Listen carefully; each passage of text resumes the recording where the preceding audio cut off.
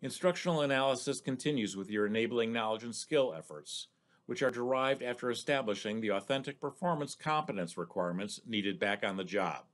so that unnecessary, extraneous, seductive details can later be culled and avoided in the design and development efforts. Instructional analysis should not be a one-shot effort in some waterfall approach to developing performance-based instruction, and instruction includes both job aids and training.